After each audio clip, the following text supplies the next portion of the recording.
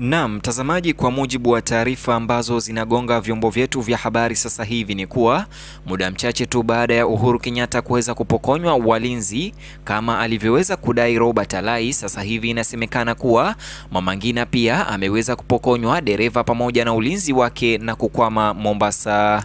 Habari zilizotoka hivi punde zinasema kuwa dereva na usalama wa Mama Ngina Kenyatta wameondolewa. Haya ni kwa mujibu wa taarifa zilizotolewa na mwanasiasa wa ODM na MCA wa wadi ya Kileleshwa Robert Alai. Robert Alai anadai kuwa aliyekuwa mke wa rais na mamake rais wa zamani Uhuru Kenyatta sasa amekwama Mombasa na anauliza ana uhusiano gani na siasa. Nikinukuu, alisema usalama na dereva wa Mama Ngina Kenyatta mamake rais Uhuru ameondolewa, amekwama Mombasa na anauliza ana uhusiano gani na siasa.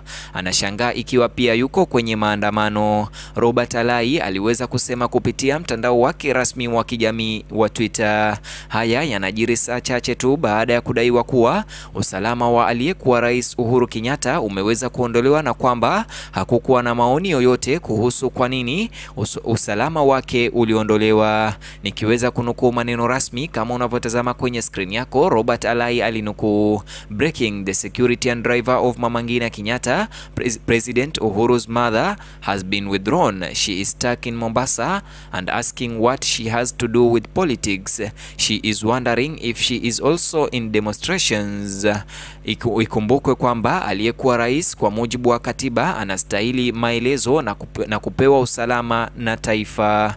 Je, mtazamaji wa Simulizi Media, maoni yako ni yapi kulingana na taarifa ambazo anazidi kuzisambaza Robert Alai, na kuachia uwanja huu wa comment section ili tuweze kushare maoni yako nasi.